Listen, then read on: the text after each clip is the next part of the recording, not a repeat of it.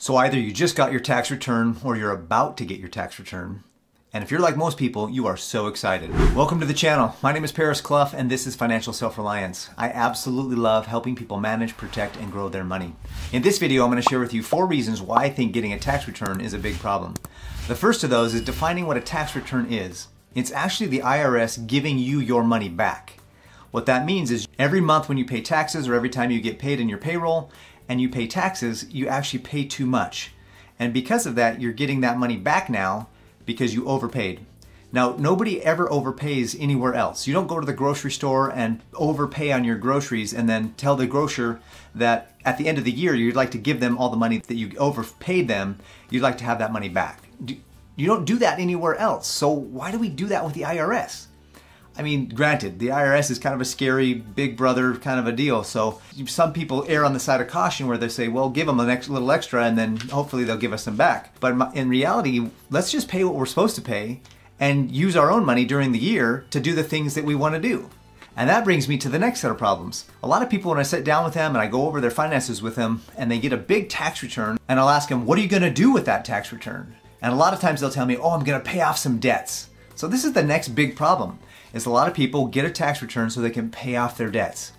Well, what if you had the money during the year and you could pay off your debts during the year and you wouldn't have to pay a huge amount of interest because you could just be paying it off throughout the year. Or maybe you didn't have to go into debt at all because you had the money when you needed it and you just paid for things. It doesn't make any sense to me why you would wait a whole year paying interest on that credit card or on that loan balance and then at the end of the year pay it all off. Well, why don't you just fill out your W-4 properly at work, get the amount of money you're supposed to get, stop overpaying the government, and then use the money that you're overpaying the government to actually pay your debts, to pay your loans, to pay for the things that you're paying interest on.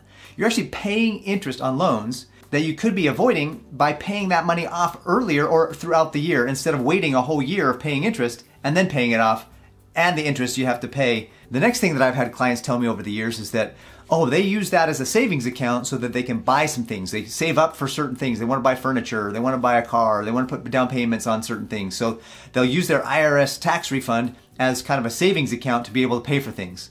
Well, that makes no sense because it's a zero interest savings account. So why would you pay extra, not earn any money, and then use that to build up to to pay for something that you want to buy. Why not fill out your W-4 properly, get the money in your paycheck that you're supposed to pay, get, stop paying, overpaying the government each, each month, each paycheck, and then use that money to save in a savings account where you're actually earning an interest rate and earn yourself two or three or four percent.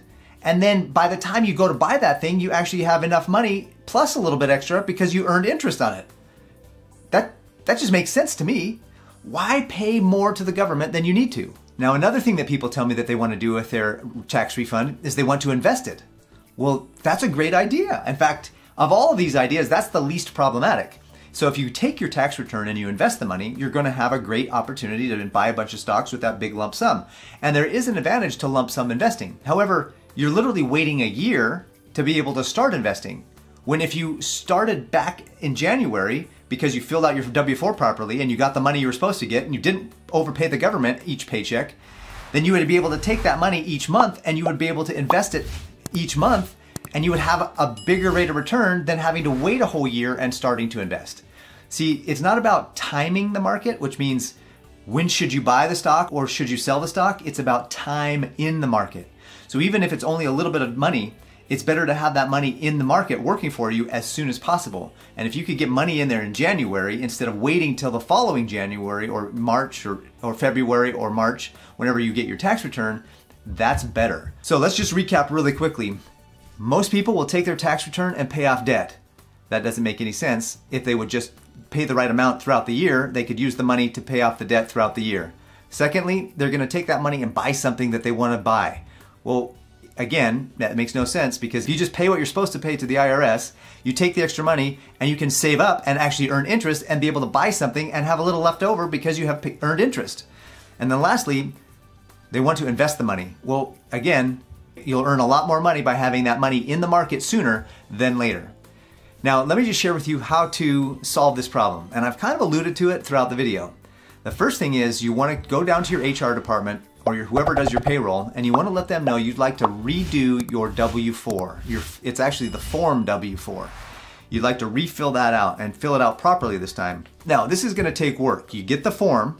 You can even go to the IRS website and put. A, I'll put a link in the description below for the actual place where you can go on the IRS.gov and get the form, just in case you are too nervous or too embarrassed to go ask your HR department. But if you go down to your HR department and you get the form W4 and you actually read the instructions and fill it out properly, you're going to pay less to the IRS throughout the year, which means you're going to have more money in your checking and your bank account and your paycheck every month and every or every other week or however often you get paid.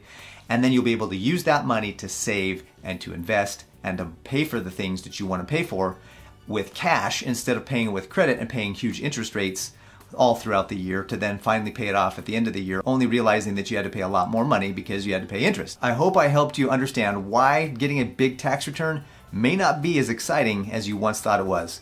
I used to think it was awesome and it was amazing until I realized it was just the IRS giving me my money back.